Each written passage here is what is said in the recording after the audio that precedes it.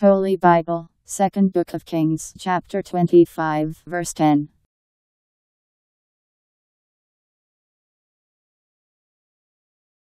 And the walls round Jerusalem were broken down by the Chaldaean army which was with the captain.